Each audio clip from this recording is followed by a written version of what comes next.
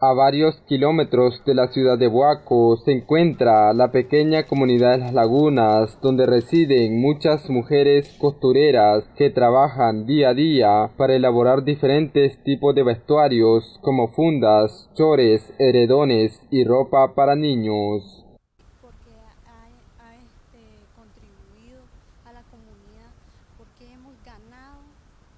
Este, este, proyectos de la comunidad. A hacer las costuras y ganamos un ingreso para nosotros.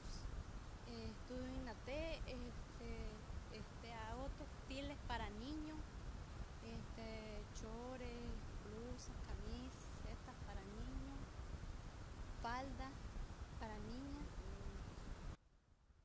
Gracias a los estudios que le ha ofrecido el Tecnológico Industrial Alcides Miranda, estas mujeres emprendedoras han podido salir adelante y creado nuevas expectativas en los mercados.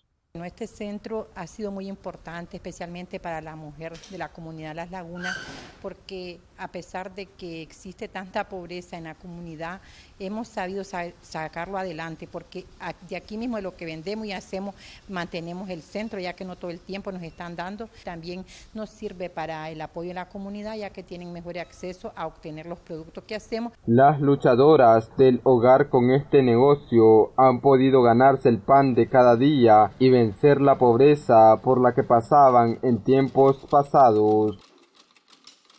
Para mí ha sido una experiencia muy bonita, ya que he ayudado a contribuir a la comunidad, a mis compañeras. Nosotros lo que realizamos es haciendo edredones, fundas, este también hacemos repostería, este hacemos también ropa de niños, chores esta pequeña empresa familiar estará recibiendo a cualquier hora del día las féminas que quieran unirse y aprender este oficio. También podrán aprender a hacer manualidades y reposterías.